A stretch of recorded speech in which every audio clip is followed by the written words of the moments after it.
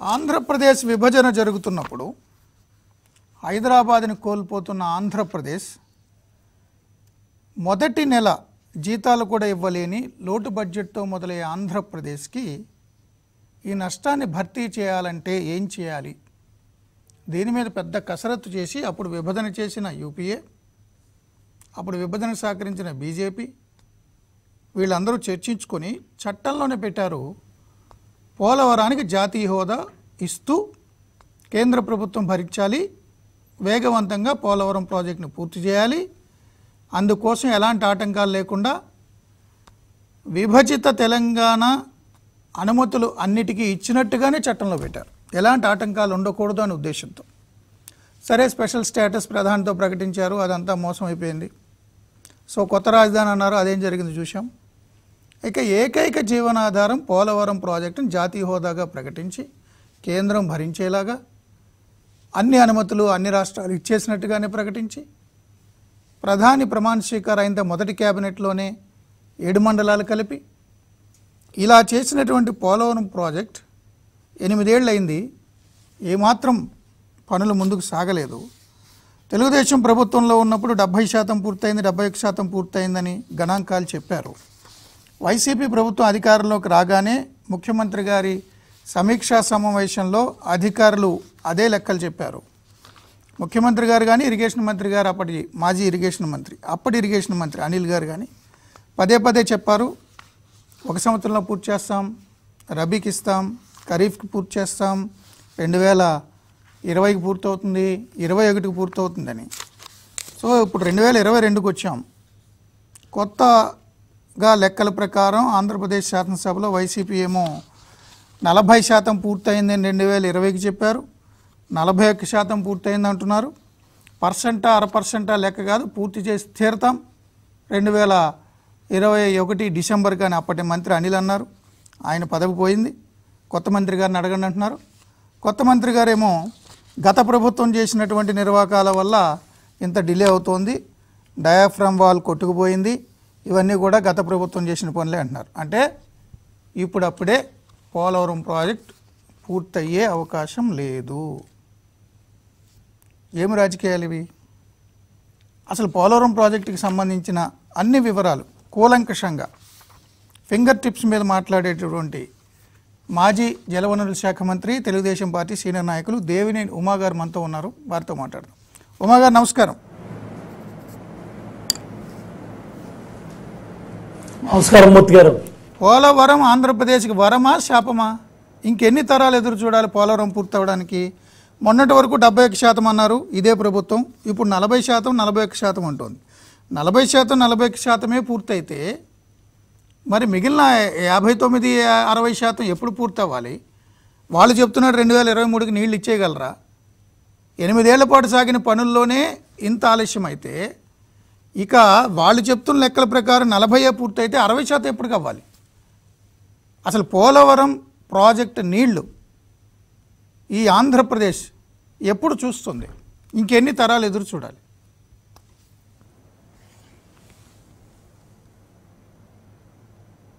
మూర్తి గారు ముప్పై ఐదు నెలలుగా వీళ్ళు చెప్పే మాటలు కానీ వీళ్ళు చేస్తూ ఉన్న కబుర్లు కానీ ఇవన్నీ కూడా మీరు ఒకసారి చూడండి. మనం ఇదే ఈ లైవ్ షోలో చాలాసార్లు మాట్లాడుకున్నాం.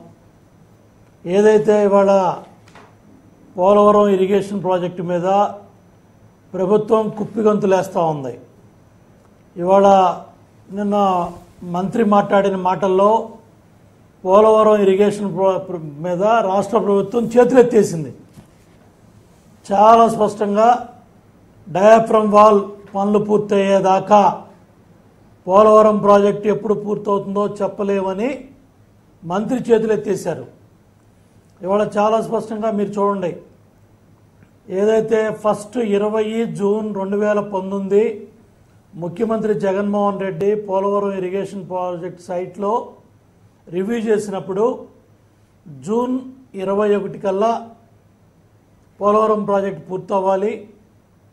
ఇరవై రెండు ఫిబ్రవరి కల్లా పవర్ ప్రాజెక్ట్ తొమ్మిది వందల అరవై మెగావాట్లు పూర్తవుతుందని చేయాలని చెప్తూ పీటర్ కమిటీ అనే ఒకటి ఎక్స్పర్ట్ కమిటీ ఆర్ఎండ్బి ఇంజనీరింగ్ చేశాడు ఆయన ఇంజనీరింగ్ చీఫ్గా. రాజశేఖర రెడ్డి గారి బంధువు ఆయన్ని central water commission dam design review panel Polavaram project authority ఆధ్వర్యంలో రాష్ట్ర జలవనరుల శాఖ అధికారులు పోలవరం ఇరిగేషన్ ప్రాజెక్టు నిర్మాణాన్ని చేశారు. చంద్రబాబు నాయుడు గారు అధికారంలో ఉండగా ప్రాజెక్టు పనుల్ని డెబ్బై ఒక్క శాతం పైగా తీసుకెళ్ళారు. పదకొండు వేల ఐదు వందల ముప్పై ఏడు కోట్లు ఖర్చు పెట్టారు. దాంట్లో దగ్గర దగ్గర ఆరు వేల ఐదు వందల కోట్లు చంద్రబాబు నాయుడు గారు ముఖ్యమంత్రిగా ఉండగా నాబార్డు ద్వారా కేంద్ర ప్రభుత్వం డబ్బులు ఇచ్చింది సుమారు నాలుగు వేల కోట్ల పైగా జగన్మోహన్ రెడ్డి ప్రభుత్వానికి డబ్బులు ఇచ్చింది ఆ ఇచ్చిన నాలుగు వేల కోట్లని నిర్వాసితులు డబ్బులు కట్టకుండా పోలవరం ఇరిగేషన్ ప్రాజెక్టులో సైట్ ఖర్చు పెట్ట సైట్లో ఖర్చు పెట్టకుండా డ్యాము ఖర్చు పెట్టకుండా ఆ పను ఆ డబ్బులు కూడా వేరే ప్రాజెక్టులకి తరలించారు వేరే పనులు తరలించారు.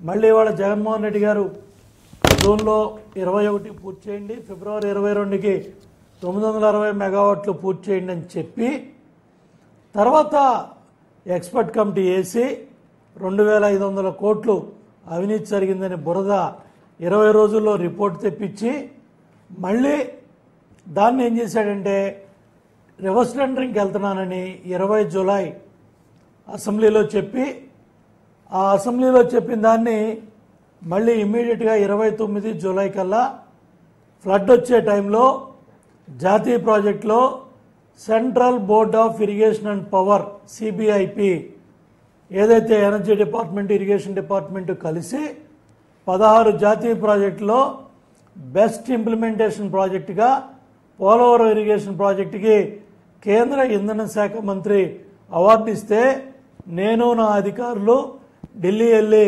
అవార్డు కూడా రాష్ట్ర ప్రభుత్వానికి తీసుకొచ్చాం. అట్లాగే ముప్పై రెండు వేల ఐదు వందల పదిహేను క్యూబిక్ మీటర్లో కాంక్రీటు కంటిన్యూస్ ఫర్ ఇరవై నాలుగు గంటలు కంటిన్యూస్గా ఒక జాతీయ ప్రాజెక్టులో దేశంలో కాంక్రీట్ వేసినందుకు గిన్నిస్ బుక్ ఆఫ్ వరల్డ్ రికార్డులో నవయుగ ఇంజనీరింగ్ కంపెనీ రాష్ట్ర ప్రభుత్వం చరిత్రలోకి ఎక్కి ఆ అవార్డు కూడా Guinness book of world record తీసుకున్నాం. మళ్ళీ ఇవన్నీ కూడా ఈ విధంగా ఉంటే జగన్మోహన్ రెడ్డి గారు రివర్స్ టెండరింగ్ డ్రామా ఆడి ఆ పనులు క్యాన్సిల్ చేసి కాంట్రాక్టర్ని ఇమ్మీడియట్గా అర్ధాంతరంగా పదిహేను రోజుల్లో మీరు డ్యామ్ సైట్ బయటికి వెళ్ళిపోండి. నేను రివర్స్ టెండరింగ్ చేస్తున్నాను అని చెప్పి ఫ్లడ్ వచ్చే టైంలో టెండర్లో కాల్ఫర్ చేశాడు. అప్పుడు ఎమర్జెన్సీగా ఏదైతే పోలవరం ప్రాజెక్ట్ అథారిటీ జూలైలో కూడా ఓ మీటింగ్ పెట్టి కాపర్ డ్యామ్స్ నిర్మాణం జరిగి ఉన్నాయి ప్లస్ డయాఫ్రమ్ వాల్ నిర్మాణం జరిగి ఉంది వేగవంతంగా సంబంధిత ఎత్తకం రాక్ఫిల్ డ్యామ్ పనులు పూర్తి చేయాలంటే పనులు మొదలు పెట్టాలంటే ఆర్ అండ్ ఆర్ పనులు వేగవంతం చేయండి. ఏదైతే కాపర్ డ్యామ్స్ సంబంధించిన పనులన్నీ కూడా దాని మీద దాంట్లో డిస్కస్ చేయటం జరిగింది. అదేవిధంగా రాష్ట్ర ఇరిగేషన్ శాఖ అధికారులు జూలై ఇరవైన రెండు వేల పంతొమ్మిదిలో జగన్మోహన్ రెడ్డి గారు చాలా స్పష్టంగా చెప్పారు. డయాఫ్రమ్ వాల్ నిర్మాణం జరిగింది.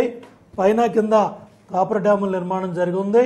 అక్కడ జరిగిన జెట్ గ్రౌటింగ్ కానీ ఆ డయాఫ్రమ్ వాల్ దగ్గర దగ్గర తొంభై ఆరు మీటర్లు భూగర్భంలో గోదావరి గర్భంలోకి ఆ డయాఫ్రమ్ వాల్ ప్లాస్టిక్ వాల్ ఒక ఒకటి పాయింట్ ఐదు మీటర్ల వెడల్పుతో దగ్గర దగ్గర తొంభై ఆరు మీటర్లు అంటే మూడు వందల నుంచి మూడు వందల ముప్పై అడుగు భూమిలోకి వెళ్ళింది. ఆ భూగర్భంలో కొండను పట్టుకొని ఆ కొండలో రెండు అడుగుల దాకా ఆ కొండలోగా ఆ ప్లాస్టిక్ వాల్ని తీసుకెళ్ళి దగ్గర దగ్గర డయాఫ్రమ్ వాల్ని మూడు వందల అడుగులు ఆ భూగర్భం పైకి ప్లస్ ఒకటి పాయింట్ ఐదు మీటర్లు వెడల్పులో ఎల్ఎన్టీ బావర్ కంపెనీ రికార్డు స్థాయిలో జర్మనీ సంస్థ పద్నాలుగు నెలలు గోదావరి తల్లి ప్రవాహాలు నడుస్తూ ఉన్నప్పుడు చేసిన పనుల్ని కాపాడుకుంటూ దానికి సంబంధించిన ఆ ఫ్లడ్ మిటిగేషన్ అంతా కూడా ఇంజనీర్లతో కోఆర్డినేట్ చేసుకొని మేము పద్నాలుగు నెలల్లో ఫ్లడ్ వచ్చే సమయంలో కూడా కట్టిన డయాఫ్రమ్ వాల్ని ప్రొటెక్ట్ చేసుకొని మేం పద్నాలుగు నెలల్లో ఈ దేశంలో అతిపెద్ద డయాఫ్రమ్ వాల్. ఒకటి పాయింట్ నాలుగు కిలోమీటర్లు.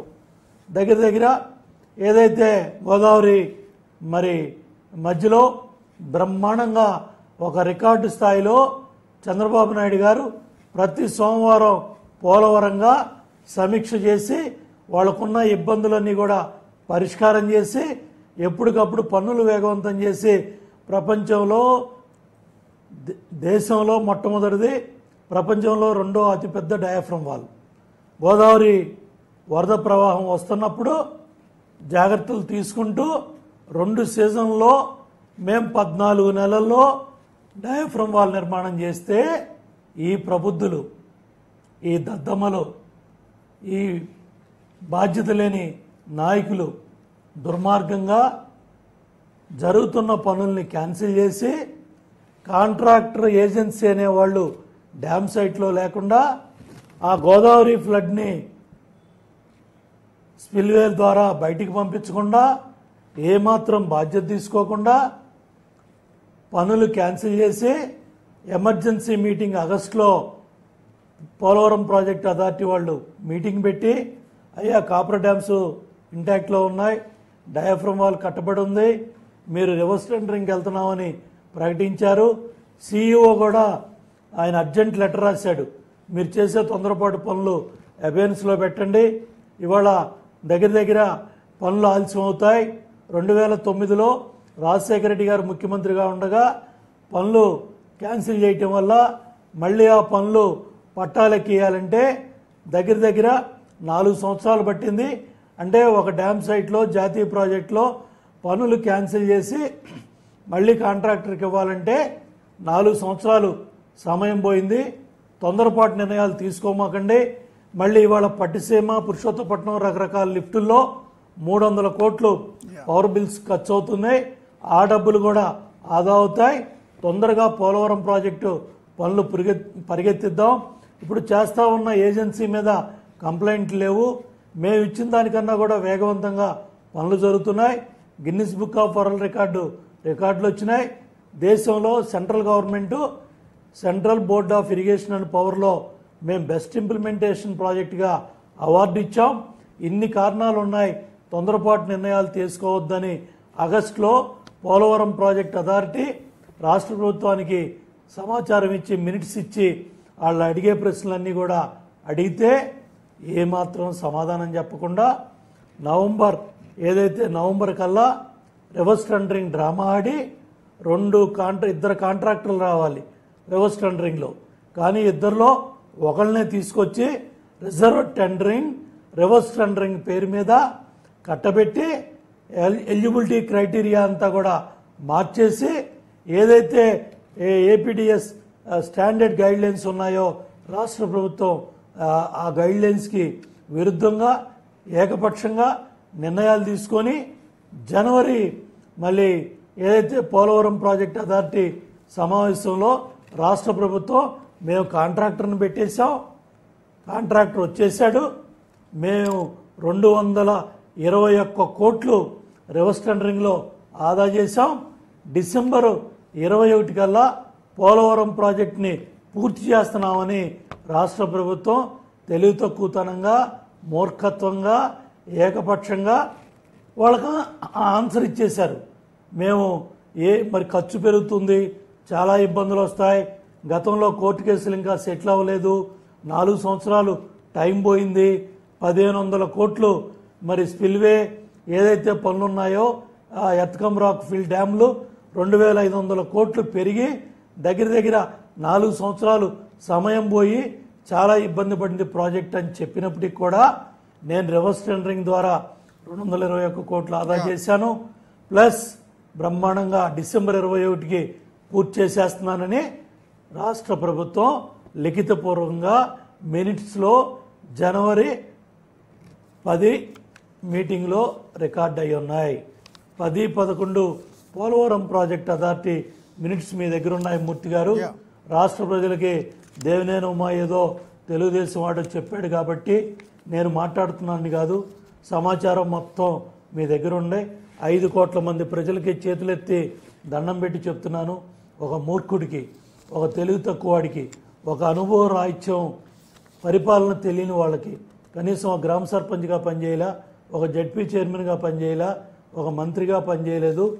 ఇవాళ ఒక్క ఛాన్స్ అని రకరకాల కారణాలతో నూట యాభై ఒక్క సీట్లు వచ్చిన అహంకారంతో ఏజెన్సీ వాళ్ళని పోలవరం డ్యామ్ కట్టొద్దని జగన్మోహన్ రెడ్డి హెచ్చరించాడు. వాళ్ళు లెక్క పెట్టకుండా ఓకే. ఈ రాష్ట్ర ప్రభుత్వం లైఫ్ లైన్ ప్రాజెక్ట్ని నిర్మాణం చేస్తే సంస్థకు పేరు వస్తుందని వాళ్ళు పనులు మొదలుపెట్టినందుకు కక్షగట్టి కృష్ణపట్నం పోర్ట్ లాక్కున్నాడు బందర్ పోర్ట్ లాక్కున్నాడు పోలవరం డ్యామ్ అర్ధాంతరంగా పనులు క్యాన్సిల్ చేసి కాంట్రాక్టర్ని ఎలగొట్టి రివర్స్ టెండరింగ్ డ్రామా ఆడి కొత్త కాంట్రాక్టర్ని తీసుకొచ్చి ఇవాళ ఈ మూల్యం జగన్మోహన్ రెడ్డి గారి మాన్యుమెంటల్ ఫెయిల్యూర్ మూర్తి గారు గుర్తుపెట్టుకోండి. మాన్యుమెంటల్ ఫెయిల్యూర్ చారిత్రాత్మక తప్పిదం అంటారా? ఓకే. చారిత్రాత్మక వైఫల్యం అంటారా? మీరు ఏ మాట అంటారో నాకు తెలియదు కానీ జగన్మోహన్ రెడ్డి జాతికి చేసిన ద్రోహం. పదహారు జాతీయ ప్రాజెక్టుల మూర్తి గారు డెబ్బై సార్లు డ్యామ్ చుట్టూ తిరిగాను కాబట్టి ఆవేదనతో బాధతో చెప్తున్నాను. తెల్లవారుజామున లేచి ఆరు గంటలకు లేచి పది గంటలకల్లా మా నాయకుడు వచ్చే హెలికాప్టర్కి మా ఇంజనీర్లు సెక్రటరీలు అంతా కూడా ఆయనకి ఎదురు చూసి రివ్యూ చేసుకొని సాయంత్రం చీకటపడి మరి ఇంజిన్ మా మా ఇంటి పోలీసు హెచ్చరికలు తీసుకొని మేము చీకట పడుతుందని బయలుదేరి వెళ్ళేవాళ్ళం. అటువంటి ప్రాజెక్ట్ని ఈ దుర్మార్గుడు ఈ బాధ్యతారాజ్యంగా ఇంత జీవితాలతో లైఫ్ లైన్ ప్రాజెక్టు యాభై లక్షల క్యూసిక్లు ఫ్లడ్ వచ్చే ప్రాజెక్టు ఇరవై ఆరు జిల్లాలకి నీళ్ళెళ్ళే ప్రాజెక్టు ఇవాళ ఇటువంటి ప్రాజెక్ట్ని.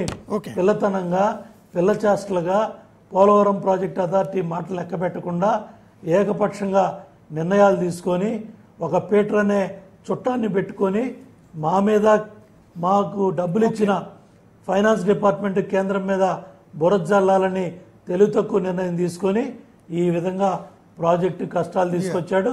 ఇది దీని మీద ఇవాళ ప్రభుత్వం చేతులెత్తేసింది. చూడండి. మూర్తి గారు ఇవాళ ఇంజనీర్లు వచ్చారు ఐఐటి ప్రొఫెసర్లు వచ్చారు. One one forty four section ఎందుకండి? డ్యామ్ సైట్ దగ్గర వన్ ఫార్టీ ఫోర్ సెక్షన్ పెట్టి టీవీ ఫైవ్ వెళ్ళొద్దా ఏబిఎన్ వెళ్ళొద్దా లేకపోతే ఈటీవీ వెళ్ళొద్దా? పొద్దున్న లేస్తే రామోజీరావు గారి మీద నాయుడు గారి మీద రాధాకృష్ణ మీద పడి ఆడటం తప్ప మేము అడిగే ప్రశ్నలకు ఎందుకు సమాధానం చెప్పలేకపోతున్నారు? ఎందుకు ముఖ్యమంత్రి ఇంత ఇంత దౌ- దౌర్భాగ్య రాజకీయాలు ఒక లైఫ్ లైన్ ప్రాజెక్ట్తో జీవనాడితో అన్ని ప్రాంతాలకు దగ్గర దగ్గర ఐదు వందల నలభై రెండు గ్రామాలకి మంచినీళ్ళు వెళ్తాయి. సుమారు యాభై లక్షల ఎకరాలు మనం సాగు తీసుకోవచ్చు. ఉత్తరాంధ్ర సౌదస్రావం ద్వారా శ్రీకాకుళం విశాఖపట్నం విజయనగరానికి నీళ్ళు వెళ్తాయి.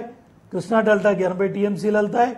మళ్ళీ కృష్ణా బ్యా- బ్యారేజ్ నుంచి ఇటు పెన్నా మరి లింకేజ్ కింద గోదావరి పెన్నా లింకేజ్ కింద నకిరికెళ్ళు ఈ సత్తెనపల్లి ఈ అంబటి రాంబాబు నేను ఒకటే చెప్తున్నా మూర్తి గారు ఆ నియోజకవర్గానికి కూడా గోదావరి నీళ్ళు వెళ్తాయి.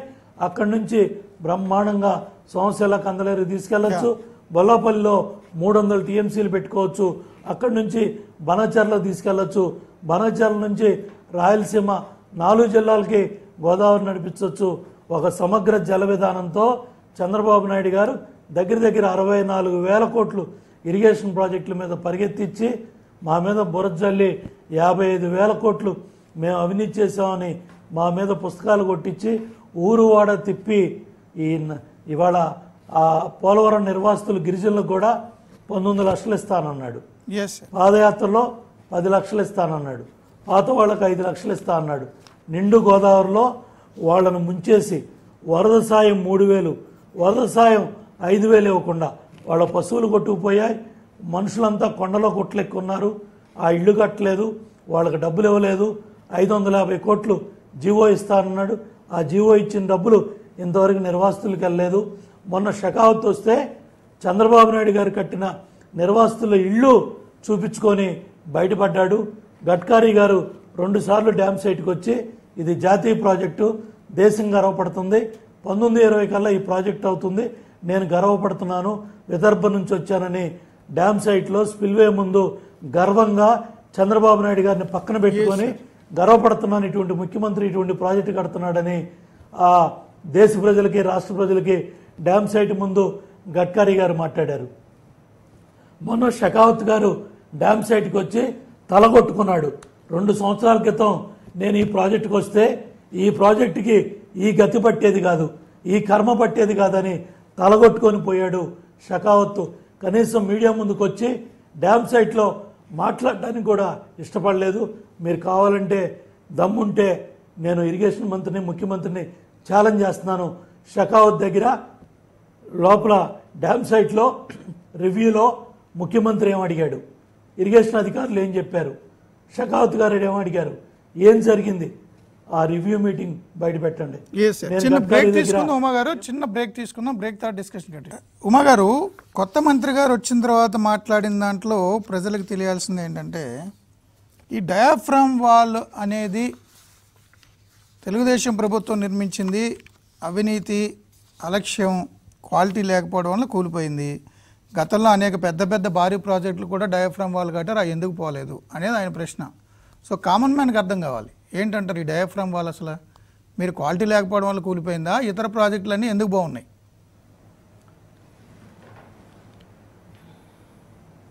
మీరు ఒకటే ఆలోచన చేయడం మూర్తి గారు.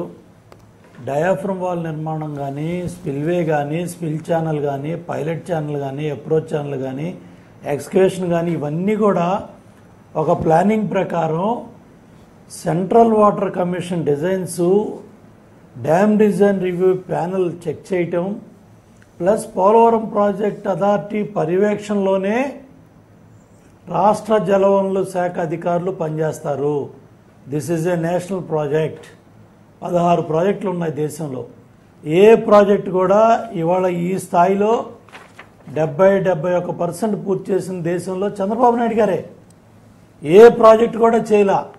ఒక్క చంద్రబాబు నాయుడు గారే పోలవరాన్ని ఇలా పరిగెత్తించగలిగారు.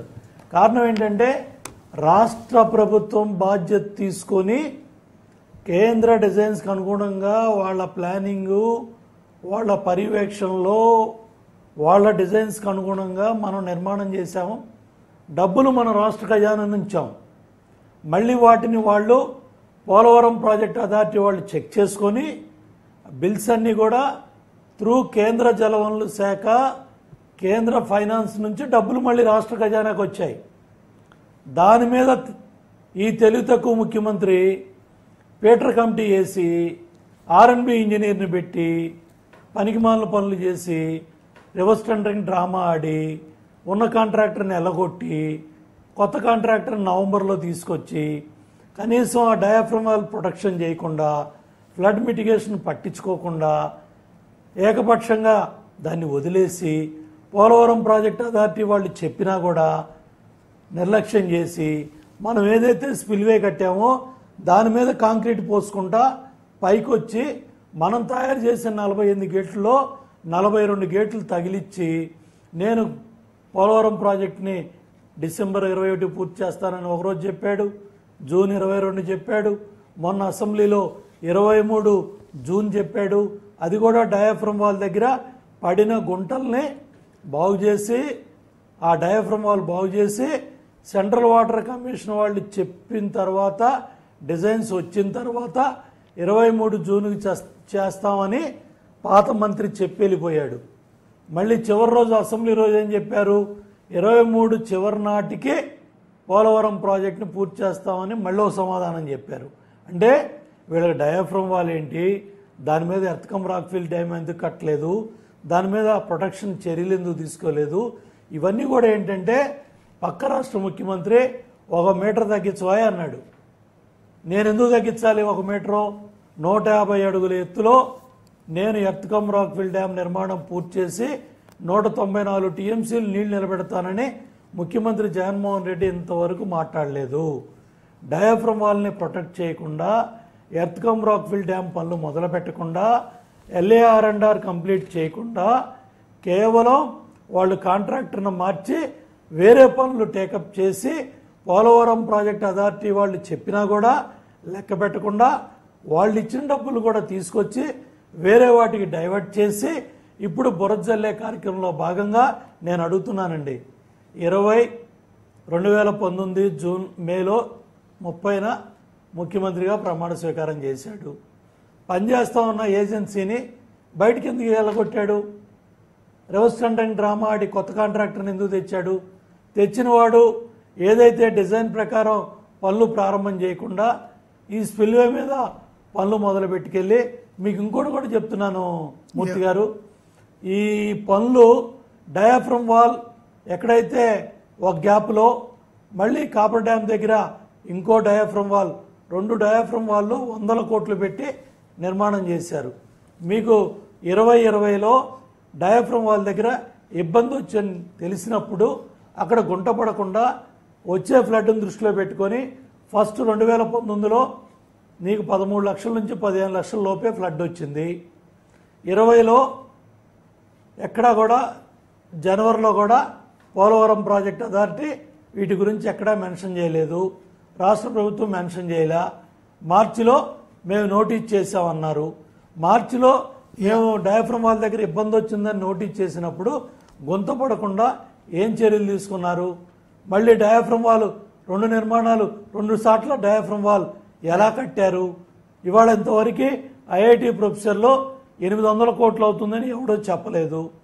సజ్జల రామకృష్ణారెడ్డి ఎనిమిది వందల కోట్లు అంటే ఈ మంత్రి ఎనిమిది వందల కోట్లు అంటున్నాడు.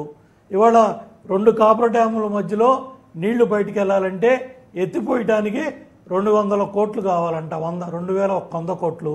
ఏ ఎక్స్పర్ట్ కమిటీ చెప్పలా? ఏ ఐఐటి ప్రొఫెసర్ చెప్పలా? కింద కోటలో కింద కాపుర డ్యామ్లో కొద్దిగా పక్కకు జరిపితే ఆ నీళ్ళన్నీ కిందకి వెళ్తాయి ఆ ఇంగిత జ్ఞానం కూడా వీళ్ళకి లేదు. ఇవాళ ఏ విధంగా ఎనిమిది వందల కోట్లలో డబ్బులు దండుకోవాలా? ఏ విధంగా రెండు వేల వంద కోట్లలో డబ్బులు దండుకోవాలా? సజ్జల రామకృష్ణారెడ్డి కమిషన్లు వసూలు చేసే ఇరిగేషన్ డిపార్ట్మెంట్లో మూర్తి గారు.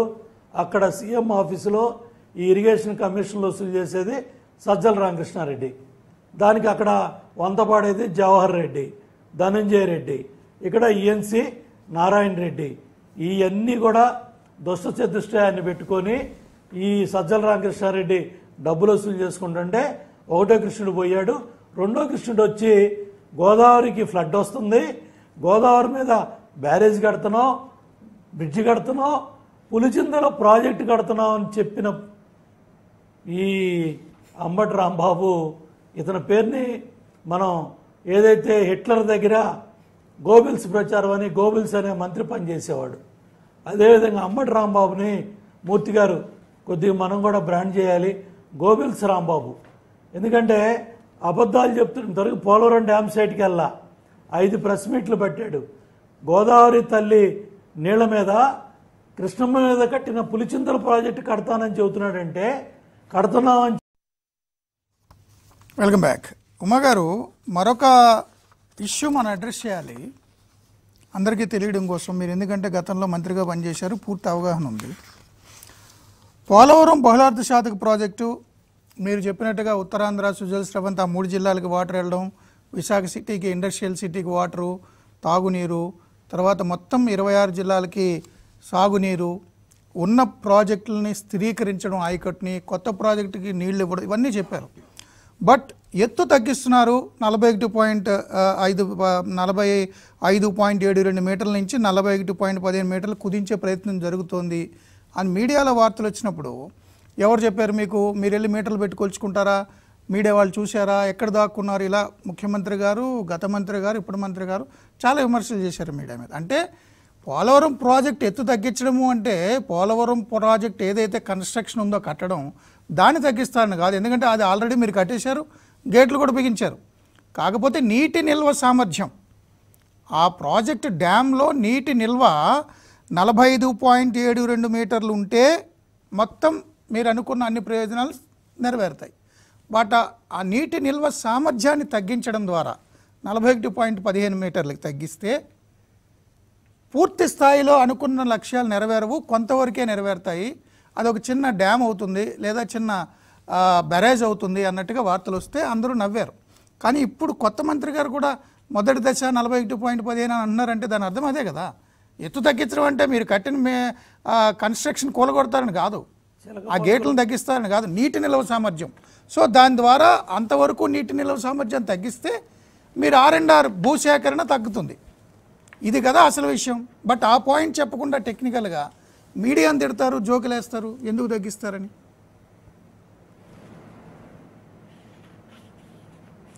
ఇరవై ఎనిమిది మంది ఎంపీలను పెట్టుకొని కేంద్రంలో ప్రధానమంత్రి దగ్గర ఫైనాన్స్ మినిస్టర్ దగ్గర చంద్రబాబు నాయుడు గారు ఫిబ్రవరి రెండు వేల పంతొమ్మిది టెక్నికల్ అడ్వైజరీ కమిటీ సమావేశంలో కేంద్ర జలవనరుల సెక్రటరీ ఆధ్వర్యంలో పోలవరం ఇరిగేషన్ ప్రాజెక్టుకి యాభై ఐదు వేల ఐదు వందల నలభై ఎనిమిది కోట్లు ఆమోదం తెలిపారు.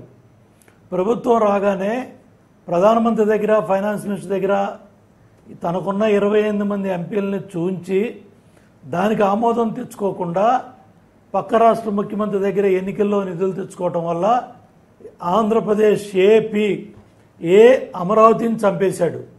మూడేళ్ళు తట్టమట్టేలా కోర్టు మొట్టికేస్తే ఇవాళ తట్టబుట్ట తీసుకొని ఒక కాంట్రాక్టర్ వెళ్ళాడు. పి. పోలవరం. పోలవరం ప్రాజెక్టులో ఒక మీటర్ తగ్గిస్తానంటే నూరు తెరవల ఇంతవరకు మీరు అన్నట్టుగా నూట యాభై అడుగులు ఈ ఎర్త్కొమ్రాక్ ఫెల్ డ్యామ్ నిర్మాణం చేస్తే నూట తొంభై నాలుగు టీఎంసీలు నిలబడతాయి. ఇప్పుడు వీళ్ళు కాంప్రమైజ్ అయిపోయారు. ఇరవై వేల కోట్లు భూసేకరణకు ఎందుకు ఖర్చు పెట్టాలి? ఏలూరు పట్టణం అంత పట్టణం కట్టాలి మూర్తి గారు. ఇవాళ అవన్నీ మనం చేసే పరిస్థితి లేదు. కాబట్టి నలభై ఒకటి పాయింట్ ఒకటి ఐదు మీటర్లకు కన్ఫైన్ అయిపోదాం. నూట ముప్పై ఐదు అడుగులకి ఒక నూట ఇరవై టీఎంసీలు నీళ్ళు నిలబడతాయి. కాబట్టి ఇక్కడ తొమ్మిది వందల పదమూడు కోట్లతో జీవో ఇచ్చారు. పట్టిసీమ లాంటి లిఫ్టు పోలవరం డ్యామ్ వెనక ఆల్రెడీ పునాదులతో వేశారు. ఆల్రెడీ పనులు జరుగుతున్నాయి. అట్లాగే ఇది రైట్ కెనాల్లో ఈ నీళ్ళు పడేస్తారు. అటు పట్టిసీమ నీళ్ళు పడేస్తారు. లెఫ్ట్ కెనాల్లో పురుషోత్తపట్నం మనం లిఫ్ట్ కట్టున్నాం. ఇంకో లిఫ్ట్కి ప్రతిపాదనలు తయారు చేస్తున్నారు.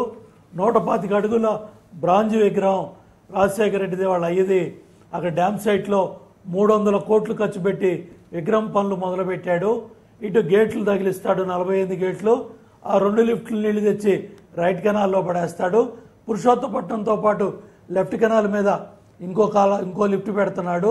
ఈ లిఫ్ట్లు పడేసి వాళ్ళ అయ్య విగ్రహం చూపించి గేట్లు ఎత్తి దించి నేను పోలవరం కట్టేశానని ఇరవై మూడు నవంబర్ కల్లా ఎలక్షన్లకు వచ్చేస్తాడు. అది ఇరవై మూడు ఏప్రిల్ లోపు అవుతుందా? ఇరవై మూడు నవంబర్కి అవుతుందా? నేను జ్యోతిష్కుని కాదు చెప్పడానికి ఆల్రెడీ పురుగు పుట్టేసింది. జగన్మోహన్ రెడ్డికి ఆ పురుగు ఏంటంటే భస్మాసుడు హస్తం తన చేయి తనే పెట్టుకుంటాడు ఎవడు పెట్టవసరంలా. ఇవాళ దోచుకున్న డబ్బులు లక్ష కోట్లు ఉన్నాయి ఆల్రెడీ ఇవన్నీ బెంగళూరు మెడ్రాసు హైదరాబాదు ఇంగ్లాండు పంపించేశాడు. ఇవాళ దోచుకున్న డబ్బు రెడీగా ఉంది. ప్లస్ ఇవాళ పైనుంచి ఫైనాన్స్ తెచ్చే పరిస్థితి లేదు డబ్బులు ఇచ్చే పరిస్థితి లేదు. అవి కూడా రేపు రాబోయే రోజుల్లో చేతులు ఎత్తేసే ప్రభు పరిస్థితి ఉంది. పెన్షన్లు డబ్బులు లేవు. జీతాల డబ్బులు ఎత్తుకుంటున్నారు. ఇవాళ కూడా పెన్షన్లు పడలా ఇవాళ కూడా జీతాల డబ్బులు పడలా. కాబట్టి ఇవన్నీ తప్పించుకోవడానికి ఈ లిఫ్ట్లు పెట్టే పనుల్లో ఉన్నాడు.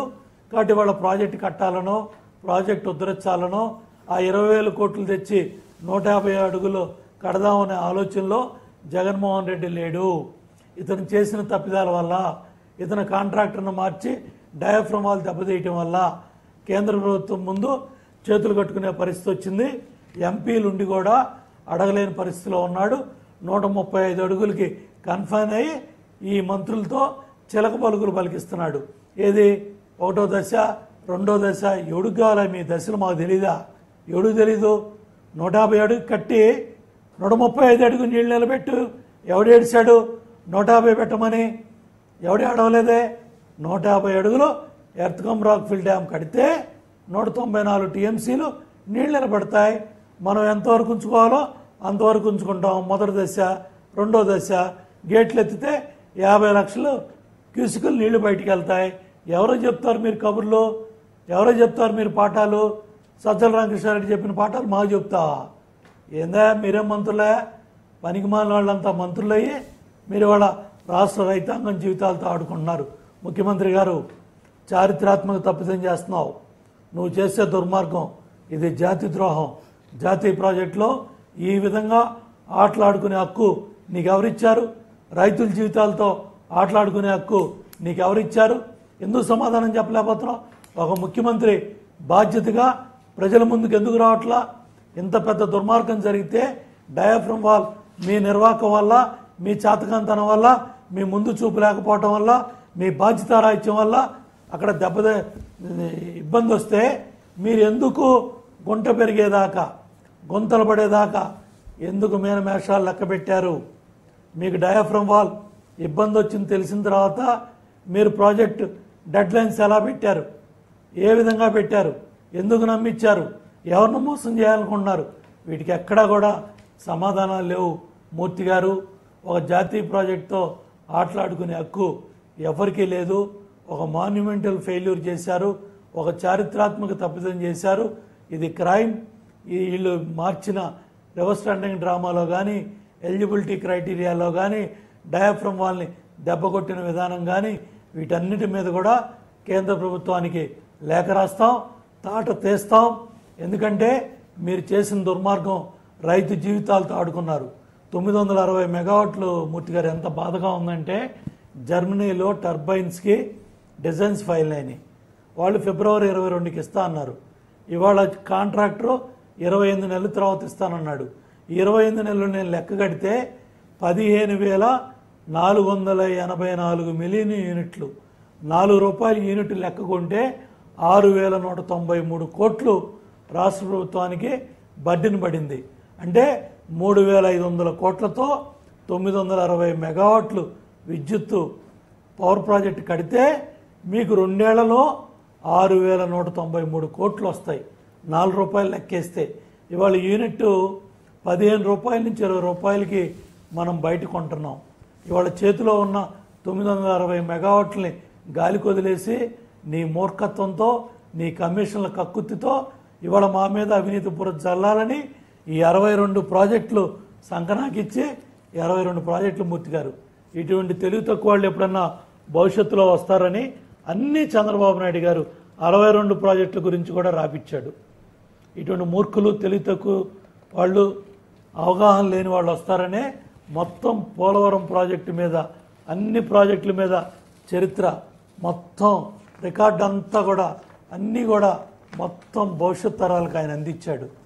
ఇంత చేసి ఒక అపర భగీరథుడిలాగా ఒక ఆయనకి మైండ్ ఆయన హృదయానికి ఎందుకంటే ఈ ప్రాజెక్ట్ కడితే రాయలసీమకు నీళ్ళు వెళ్తాయి ఉత్తరాంధ్రకు నీళ్ళు వెళ్తాయి మన జీవిత పరమార్థం ఈ ప్రాజెక్ట్ అయితే చాలని ఉమాభారతి గారి గురువు గారు కూడా కర్ణాటకలో ఉంటే ఆ మహానుభావుని ఆ గురువును కూడా కలిసి ఈ ప్రాజెక్టు పూర్తవ్వాలి. మోడీ గారికి ఎన్నోసార్లు ఇలా ఫైల్డ్ చేతిలో పట్టుకెళ్ళి చివరి రోజు కూడా నేనే సాక్ష్యం నేను కూడా ఉన్నాను. ఇలా ఫైల్డ్ పట్టుకెళ్ళి ఆయన ఈ ప్రాజెక్టు డబ్బుల కోసం ఎంత ప్రయత్నం చేసి ఒక నాబార్డు ద్వారా ఇవాళ ఈ ప్రాజెక్టుకి పద్నాలుగు వేలు పదిహేను వేల కోట్లు డబ్బులు తీసుకొచ్చాడంటే ఆయన దూరదృష్టి. నలభై ఏళ్ళ అనుభవం. ఇటువంటి తెలివి తక్కువడికి ఇటువంటి మూర్ఖుడికి ఇటువంటి అనుభవం లేని వాడికి ఐదు కోట్ల మంది ప్రజలు ఒక ఛాన్స్ అని అధికారం ఇచ్చారంటే మన చేత్తో మన కన్ను పొడుచుకున్నాం. ఇంత కష్టం ప్రాజెక్టుకు వస్తే బాధ్యత గల ముఖ్యమంత్రిగా మీడియా ముందుకు వచ్చి మాట్లాడ్డా? మీడియా ముందుకు వెళ్ళడా నువ్వు ఐదు సార్లు ప్రాజెక్ట్కి వెళ్ళావు నాలుగు సార్లు ప్రాజెక్ట్కి వెళ్ళావు ఏం రివ్యూ చేసావు ఏం తెలుసుకున్నావు? ఏం అవగాహన ఉంది? ఇవాళ డయాఫ్రమాల్ ఇబ్బంది వస్తే రెండు డయాఫ్రమాల్స్ ఎందుకు కట్టారు? ఏ డయాఫ్రమాల్ ఇబ్బంది అన్నప్పుడు నువ్వు కాపర్ డ్యామ్ దగ్గర డయాఫ్రమాల్ కట్టావు గ్యాప్ దగ్గర ఇంకో గ్యాప్ దగ్గర డయాఫ్రమాల్ కట్టావు కదా. మరి ఆ డయాఫ్రమాల్ని కాపాడి ఫ్లడ్ ఎంత వస్తుంది? ఫస్ట్ సంవత్సరం పదమూడు లక్షలు వచ్చింది పదిహేను లక్షలు వచ్చింది కాస్త ఇబ్బంది తెలుస్తుంది.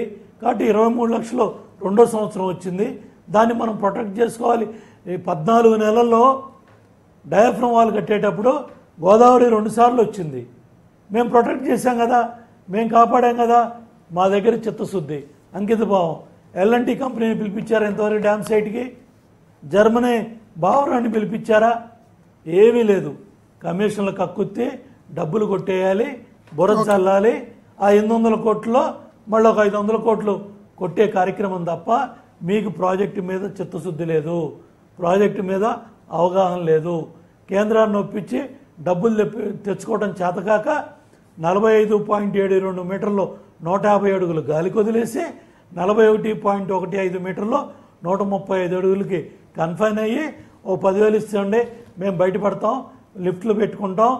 మా అయ్యి విగ్రహం పెట్టుకుంటాం అంటే ఈ- ఈ ప్రాజెక్ట్ని ఏ విధంగా ముందుకు తీసుకెళ్తున్నారో మీరే ఆలోచన చేయండి మూర్తి గారు. నేను ఐదు కోట్ల మంది ప్రజలకు కూడా అప్పీల్ చేస్తున్నాను. నేను మేము చంద్రబాబు నాయుడు గారు అధికారంలో ఉన్నప్పుడు కొన్ని లక్షల మందిని డ్యామ్ సైట్కి చూపించి ఆ డ్యామ్ సైట్ గొప్పతనాన్ని రాష్ట్రం మొత్తం ఇరవై ఆరు జిల్లాల్లో ప్రజలు తెలుసుకొని గర్వపడ్డారు తృప్తిపడ్డారు. మా ప్రాంతానికి నీళ్ళు వస్తాయి. మా చెరువు గోదావరి వస్తుంది. మా ఉత్తరాంధ్ర గోదావరి వస్తుంది. మా రాయలసీమ నాలుగు జిల్లాలు అనంతపురం చిత్తూరు కడప కర్నూలు ఇవాళ ఎనిమిది జిల్లాలు చెప్తున్నాడు. కానీ ఆ జిల్లాలన్నింటికి కూడా నీళ్ళు వస్తాయని ఎంతో గర్వపడ్డారు. అటువంటి ప్రాంతాలకి రాయలసీమ ద్రోహిగా జగన్మోహన్ రెడ్డి చరిత్రలో నిలబడతాడు. ఇవాళ ఈ ఇరవై ఆరు జిల్లాల రైతాంగంతో వాళ్ళ జీవితాలతో ఆడుకున్నాడు. ఎంతో బాధగా ఉంది ఏదో రాజకీయం కోసం జగన్మోహన్ రెడ్డిని తిట్టాలనో కాదు మూర్తి గారు. ఇటువంటి ప్రాజెక్టుతో ఆటలాడుకునే హక్కు నీకు ఎవరిచ్చారు? నూట యాభై ఒక్క సీట్లు ఇస్తే నువ్వు ఇవాళ ఈ విధంగా ఆటలాడుకునే హక్కు ఎవరికి ఇచ్చారు? పదహారు జాతీయ ప్రాజెక్టుల లిస్టు మీ దగ్గర ఉంది. ఒక్క జాతీయ ప్రాజెక్ట్ అయినా ఈ విధంగా అయిందో మీరు ఒక్కసారి రాష్ట్ర ప్రజలకి. మీడియా ద్వారా కూడా మిమ్మల్ని అప్పీల్ చేస్తున్నాను. ఎంతసేపటికి మీడియాని మీడియా అధిపతుల్ని తిట్టి రేపు ఎన్నికల్లో గెలవాలనే ప్రయత్నం చేస్తున్నాడు తప్ప కులాల పోరాటాలు లేకపోతే కులాలు మతాలు రెచ్చగొట్టాలి. ప్రాజెక్టుని కడదామనో అమరావతిని ఉద్ధరిద్దామనో రాష్ట్ర రైతాంగాన్ని ఉద్ధరిద్దామనో నేను అడుగుతున్నాను. అరవై నాలుగు వేల కోట్లు ఖర్చు పెట్టాం. అరవై రెండు ప్రాజెక్టులు. పరిగెత్తించాం. నువ్వు ఈ ముప్పై ఐదు నెలల్లో ఎన్ని ప్రాజెక్టులు కట్టావు? ఆరు ప్రయారిటైజ్ ప్రాజెక్టులు చేసుకున్నాం వెలుగొండ గాలికి వదిలేసావు సంగం బ్యారేజ్ అవలా సోమశిల ఏది? నెల్లూరు బ్యారేజ్ అవలా వంశధార నాగావళి అనుసంధానం అవలా ఏం చేసావు వంశధార నాగావళి పనులు ఏం. చేసావు మహేంద్ర తన ఏం చేసావు. ఏ ప్రాజెక్ట్? ఏ ప్రాజెక్ట్? ముప్పై ఐదు నెలల్లో ఒక్క ప్రాజెక్టు ప్రారంభోత్సవం చేసావా ఒక్క ప్రాజెక్ట్. ఓకే. ఒక్క చెరువుకు నీళ్ళు ఇచ్చావా? ఒక్క కాలువకు నీళ్ళు ఇచ్చావా? ఒక్క ఇరిగేషన్ మీద నీకు ఏమైనా అవగాహన ఉందా? వీటన్నిటికీ సమాధానాలు చెప్పాలి. ఇవాళ జగన్మోహన్ రెడ్డి పోలవరం ఇరిగేషన్ ప్రాజెక్టుతో ఆటలాడుకొని రివర్స్ రివర్స్ టెండరింగ్ డ్రామాతో రిజర్వ్ టెండరింగ్ పెట్టి తనకు నచ్చిన కాంట్రాక్టర్ని తెచ్చి చేయాల్సిన పనులు. గాలికి వదిలేసి పోలవరం ప్రాజెక్ట్ అథారిటీ వాళ్ళు చెప్పిన పనులు కూడా పట్టించుకోకుండా చేయకుండా ప్రాజెక్టుకి పరిస్థితి తీసుకొచ్చాడు. ఇది ద్రోహం. ఇది దీని మీద పెద్ద క్రైమ్. కేంద్రానికి కూడా లేఖ రాస్తాం. ఎట్టి పరిస్థితుల్లో వదిలిపెట్టే ప్రసక్తి లేదు. పోలవరం ఇరిగేషన్ ప్రాజెక్ట్ని ఎప్పుడు పూర్తి చేస్తారో చెప్పాలని జగన్మోహన్. రెడ్డిని జాతి తరపున రాష్ట్రం తరపున రాష్ట్ర రైతాంగం తరపున డిమాండ్ చేస్తున్నాను. Okay. Thank you thank you so much Uma గారు. ఇది చర్చ. మరింత మళ్ళీ కలుసుకుందాం.